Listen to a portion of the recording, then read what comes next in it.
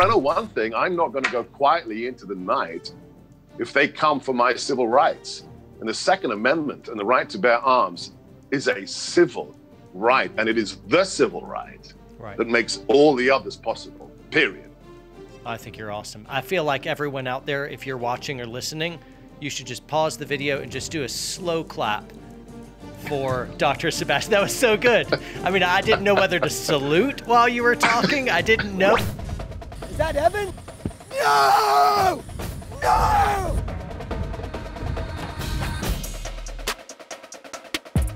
This is nerve wracking.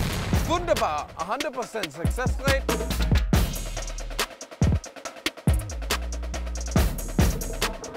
You foxy ladies.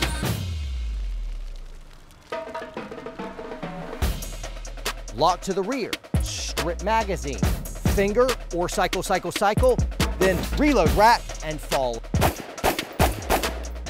All right, that worked pretty darn well. Fight your own battles, oh, yeah.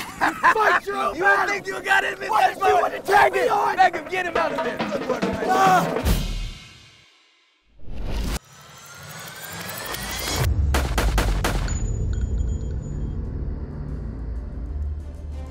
Greeting my friends, welcome back. Did you know that everything now is politics? Everyone's pissed, and all that seems to exist is politics. And I myself, I don't want politics to rule my life, but because we're warrior poets, that means we are defenders and lovers of freedom. That's part of who we are, and that means we need to remain in the know. Even though politics is not going to dominate my life personally, I need to stay in the know. And it's for that reason where I lean into other people who are in the political realm. I want an insider's view of like what in the world is happening. Please discern all the stuff going on. I see different headlines from different news organizations, and it's just a huge divide from what I'm hearing. And so I want to be able to ask an insider. And so I have our good friend, Dr. Sebastian Gorka, PhD. He's a best selling author multiple times over. He's a former strategist for the President of the United States, and he runs a national radio show with a couple million followers.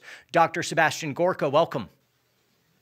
Thank you kindly, John. It's great to be on your show for once. I know. Thank you so much for having me on yours. It was it's been my turn, hasn't it? Uh, it has, and I've, I've waited a long time for this because I'm a huge fan of what you do, the new platform you've created with the Warrior Poet uh, Society's uh, network as well. And I, I just want to say this I'm not a warrior. I've spent a lot of time with the guys at Bragg, I spent a little bit of time in the British uh, Army Reserves. But if you hadn't started something, called the Warrior Poet Society, I would have started it because we dearly need it. Dear Lord, how this civilization needs it. So God bless you. More power to your elbow, and thank you for doing what you do every day. Well, listen, I've already we've already talked about this off camera. I'm going to tune you up. We're going to get you out to the range and run and gun some. I'm going to tune you up, man. And you're a gun guy. You're one of us. So I'm a massive gun guy, and I just I, I, I you didn't rehearse this, but just this morning I took my 21 year old son, his best buddy. We went shooting, and we took our Shadow Systems nine mil with the Holosun that you sent me. Yes, sir. Absolutely beautiful. They love the gun. I love it. You're a very very gracious man. And and can I just uh, say something to, to your monologue or your little intro? Sure. I just I just don't get it when I see these other guns. I'm a huge gun guy. You know, my father escaped a communist prison. I was taught to shoot as soon as I could pick up a gun. I cannot understand these YouTube channels where they where they introduce the show and even the, the Chiron might say, "We do guns, no politics." Excuse me. Are you awake? Do you have a pulse? Are you breathing? Yeah. Everything is politics today. Whether you want to go out to the bloody cinema, to the movie theater, is, is politics. So the idea that you could talk about guns or or the warrior ethos without discussing politics is insane. So another reason why I'm a big fan. Yeah, everything is just getting eaten up by that thing, politics. So whatever becomes a political conversation is now politics and it's erased our ability to talk about anything except the weather. Oh, wait, global warming. We can't even talk about the weather. Are you kidding me? Right, right. It is insane. Doesn't matter. Pick any topic, it doesn't matter. We're going to have a great conversation and get to all kinds of stuff that I'm just personally interested in. I think a lot of our community is going to lean in and just learn from you as well. But I wanted to start off by the nature of where everyone gets their information. I feel like I have to always be choosing between uh, getting bad information or getting no information. I've got to choose between those two because I'll look at CNN and or or Fox News, and Fox News is, in my estimation, taking a big step down uh, or away from us. Uh, there's like Newsmax and Daily Wire, or then there's just whatever social media Instagram feeds you. I feel like I can know exactly what a person thinks in their politics by just cutting off the conversation. Be like, whoa, whoa, whoa, don't tell me what you think. Tell me where you get your news. And wherever and whatever they answer that question with, where do you get your news? I'll fill in and tell you what you what you think. Am I is is my little guess there? Is my noticing? Is that right? And what do we do about that? Yeah, it's it's incredibly true. It's sadly true. Let, let me start with with the bugbear I have on on my radio show, America First. Uh, it is one of the most the left's going to be the left and the left have be, have become radical. When you saw the invocation of the new congress 2 days ago where the quote unquote reverend said amen a women at the end you, you realize th- th- this is a radicalized part. They have no idea what the word amen even means but they have to do some kind of uh, identity politics with a blessing. So so the left is the left. We get it but when conservatives um, don't rely on accurate information, and when they fall into these incredibly damaging conspiracy theories, when when you've got lawyers, you know, posting on Twitter three days ago, and and if Pence doesn't save the election, he's going to be arrested, and there's going to be a firing squad. And and you go, guys, are you on crack? Well, please just look for information that isn't from a grifter or an insane person. One of the most popular articles we have ever posted on our website uh, at sebgorka.com, that's the, the, um, the radio show's website, is we sat down and we took the time, my whole team, and we listed the 14 most reliable news sites. And, and people always ask me, where, where can I get information? I said, look, it's very easy. You look at institutions, and in fact, it's better to look at individuals inside institutions that have a proven track record. What have they said over the last year, over the last five years?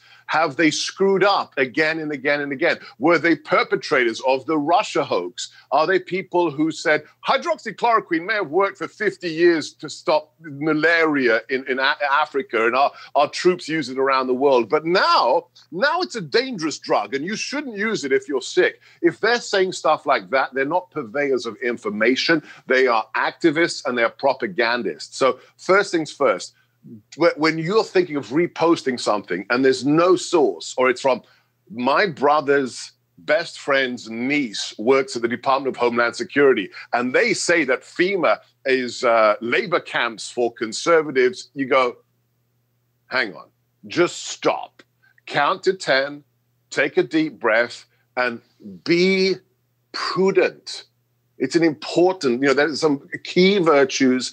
Courage is the most important, but prudence and circumspection are something that is so lacking today. It was, uh, who was it? Was it, was it, um, I think it was Mark Twain who said, He who doesn't read the newspapers is uninformed. He who reads the newspapers is misinformed. That's right. Be, be your own arbiter and use, apply common sense because there is so much garbage out there. And sadly, the internet has just made it worse. So, sorry, sorry for the, sorry for the rant. That's my Belgian Shepherd. Somebody's just come to the front door. But but this topic is, is one that's so crucial, John. Right. So, what I want to do for all of our viewers is provide a link to that article that you've written, the 14 most trusted. But with in case they're not going to rush the door, can you rattle off a few? And I'm going to go ahead and put yeah. America First, your national radio show, just as number one. so you can fill in number two anywhere down there. How about that? All right. So, so um, first things first. I love talk radio, and I get most of my information from talk radio, but only from trusted individuals, the big names who've been doing it for 30, 40 years. So my colleague at Salem, you know, Dennis Prager, whether it's a Larry Elder, whether it's the great Rush Limbaugh, Mark Levin, these are people who have demonstrated over decades that they are reliable. So talk radio for me is number one. Social media, eh, Twitter, Facebook, they're kind of little clicks, they're kind of echo chambers. When it comes to reliable sites, Breitbart, I used to be their national security editor, Breitbart.com is number one. Then you have things like The Federalist, an incredible, if you want longer analyses, thefederalist.com, superlative, run by Ben Domenech and Sean Davis, regular guests on my show. Then the Daily Wire, Wire the Daily Caller. These are the big ones that I would recommend. Breitbart.com, thefederalist.com, Daily Wire, uh, uh, and Daily Caller. But but I'll, I'll, send you the link. Check them out. Right. And these are the four, 14 sites I, I I'm not I don't have any interest in them financially, but these are the ones I would put my reputation on because they have proven to me that they are in it for truth, not you know, uh, your truth or their truth, but the truth, because there only is one truth. Absolutely. Thanks. And I want to keep yeah, every time you mention something, it makes me want to go off on a little tear of like, yes, there's different perspectives, but there's only one capital T truth, and that's a different thing. And if you contradict that, well, now you're now you're fighting with the laws of logic. And I can't believe anyone could even graduate middle school without understanding the logical fallacy that they're tripping in. As soon as you say we have different contradictory truths that are both true. There's no, what else are you going to do in education now? What in the world, uh, if you throw out the laws of logic, which all of our education is built on, what's left? And uh, that's so, caused me to lose confidence in uh, academia, like colleges and univer- liberal arts schools specifically. Yeah. Let me tell you a very short story. So, Please. my daughter was at one of the most prestigious um, private schools in DC uh, in the high school. And uh, every uh, Tuesday they had a, they didn't call it a service because it was in a cathedral, but that would have been too, I don't know, provocative to call it a service. So they had a lecture in the cathedral, the National Cathedral, with all the girls, girls' school, young girls from 10 to 18. And one of the teachers gave a quote unquote lecture or sermon about her sexuality as a lesbian to girls who are as young as 10 in the cathedral and said, basically, it's good to explore your sexuality. Now, when I heard this from my 16 year old daughter, I, I, flipped. Yeah. Um, I, am a conservative. I, I, believe man is man, woman is woman. There is a reason why the God created us the, the way He created us. And so I took it upon myself to go and see the principal. And my, my wife read me the riot act. She said, Behave, behave in there. And I did, and I, I, I, controlled myself, and I had another teacher as a witness. And I, all I said to her was the following: "It's one of the most prestigious schools in DC or in America." Uh, I heard about this lecture where one of your teachers talked about how young girls should explore their sexuality, and uh, you know, homosexuality is something they should look into. Would you? All I said was, John, would you be interested in having another guest lecturer talk about traditional values? um, because I would be glad to find one or recommend one to you. Uh, people who believe in objective truth about men and women and families. The headmistress of the school said the following No, we're fine because we don't see our job here to teach the objective truth. I just stopped because my first degree was philosophy and theology and you know for me as a, as a christian you know it's there truth is a capital t for a reason and i just said to her in front of the witness excuse me would you mind just repeating what you said wow. suddenly the temperature in the room dropped about 10 degrees and she said our job is not to teach objective truth john that's it and and this isn't politics you can spin this into politics, but you're wrong. But it is the color of politics today. And right. the watershed moment for me as an American who chose America was the Kavanaugh hearings. Do you remember the Kavanaugh hearings, Justice yeah. Kavanaugh? Absolutely Two, disgraceful what happened to him. Disgraceful. But if you understand this concept of truth, the watershed moment was when two senators on that uh, committee, one of whom, one of whom is potentially going to be the next vice president, said to Blasey Ford, um, I respect your truth. H- hang on a second. What, what do you mean, your truth? Either you were gang raped by a 16 year old young man who used drugs to rape you, or it didn't happen and he's an upstanding Christian judge.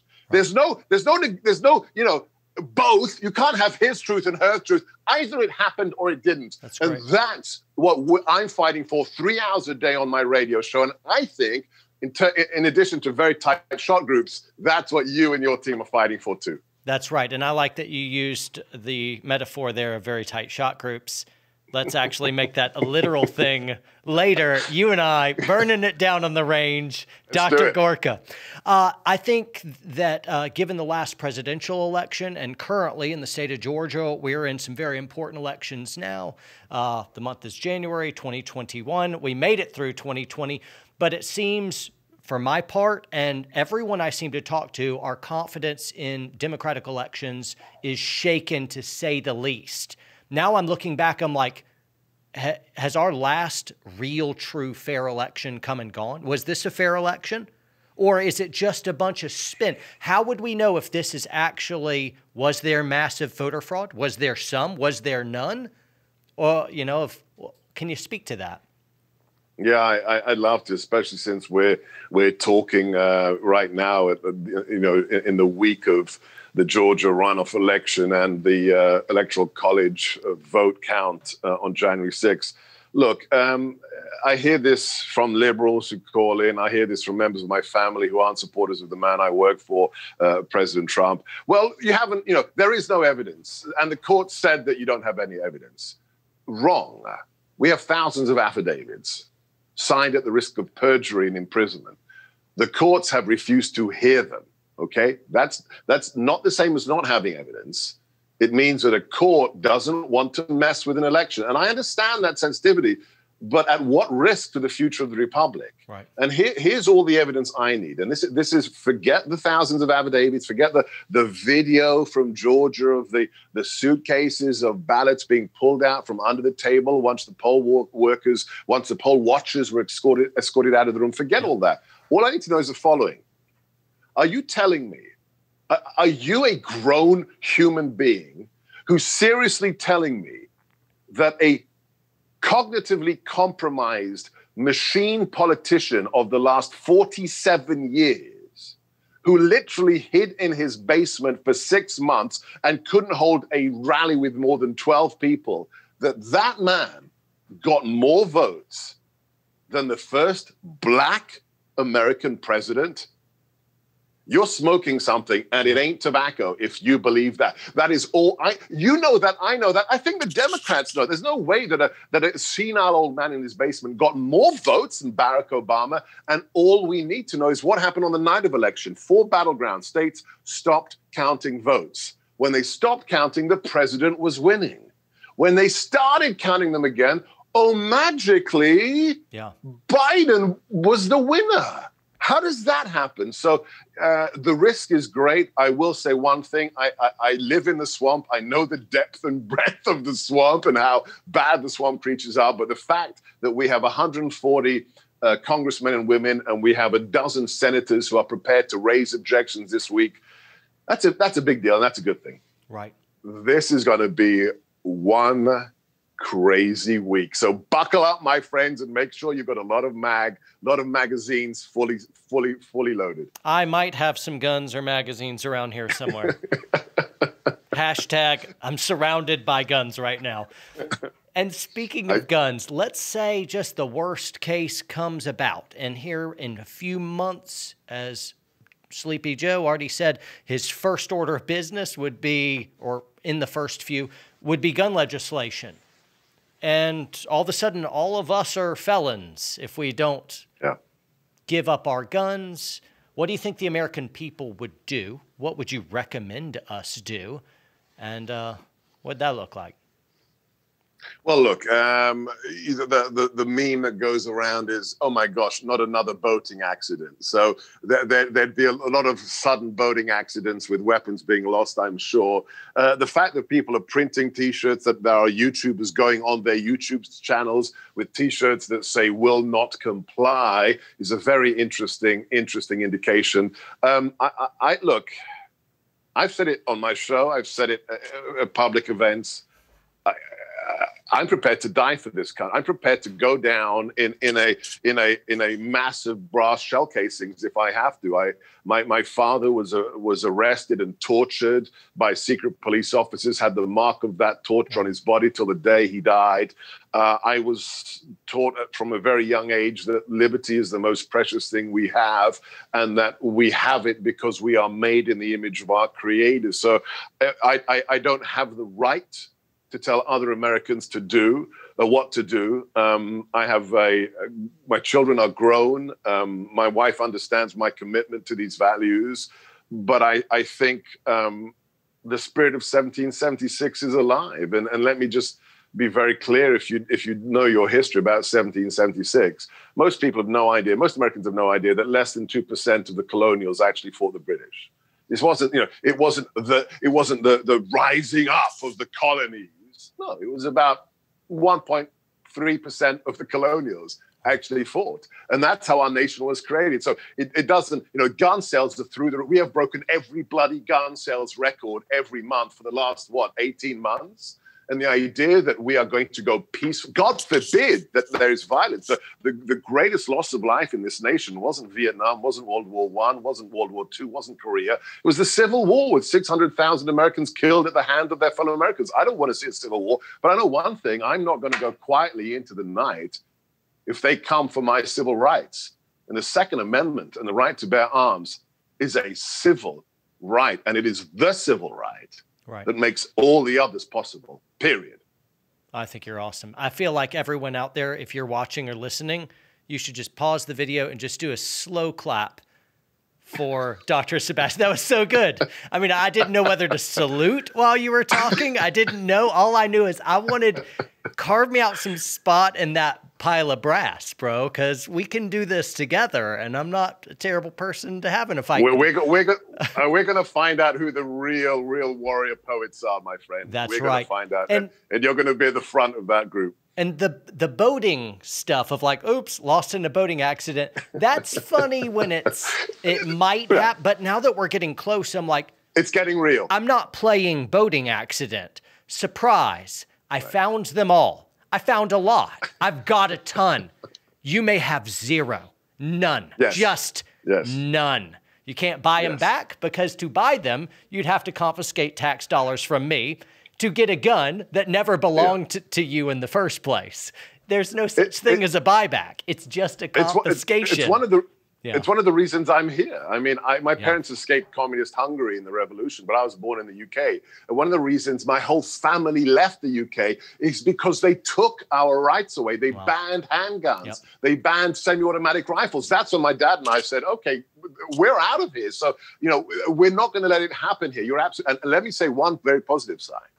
When you're having sheriffs in really Democrat states say they will not comply yeah. with illegal orders to disarm Americans. It's not just you and me. It's right. not just YouTubers and, and you know prior service guys or radio hosts. It's the guys with the badges Absolutely. and the guns who are saying, not on my watch. And that's really cool. And there's some cops out there that are ready to continue disgracing the oath they took and they would entertain such this. But for all of those, especially in I'm in Georgia. You know, if like if my local SWAT team came to my house, it's to deputize me not to take anything from it. They're all my friends, you know, like right, buddies. Right, I like right. them. I know the they, sheriff. They want, they want, and, you, they want you to help them. Yeah, it's it's kind of like that. It's that of like, man, we got so many people behind the thin blue line that swore an oath to defend the Constitution from all enemies, foreign and domestic. And I know them personally. I know them by name. I look in their eyes and I believe them when they tell me, John, we will not follow any unconstitutional, illegal gun seizure laws. And I believe them. There are some dirtbag cops that will do that, especially in lefty cities. But like you're in Georgia or Mississippi, all those cops, they used to just work normal jobs like you. They're yeah. they're everyone else. They just are now working a different job.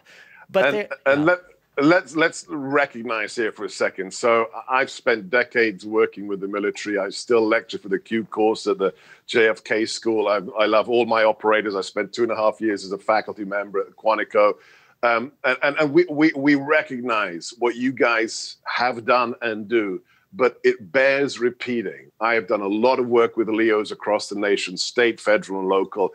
And I, I do not know how these guys put on that badge and that Sam Browne when they realize one of the most dangerous things they can do is that traffic stop. So, you know, th- th- there are scumbags, but it is a fraction of a fraction. And God bless every man and woman who puts on that badge and protects us every single day. And my faith is in the majority of them saying, hell no, we're not disarming America. Dr. Gorka, thank you so much for hanging out with us. Guys, uh, you haven't seen the end of him. We're going to have him back on. I want to talk specifically about the strategic threat of China. And so I want the inside scoop of that, and that'll be in a future video. And also, we want to get you on our Warrior Poet Network, our streaming service, our app. And I want to really dive into that story about your escape from communism to the United States as a political refugee. On a personal note, YouTube will not show this to anyone because they know who uh, Dr. Gorka is. And when they see his name in the title, this video will immediately get thrashed. And the only way anyone's going to see it is if you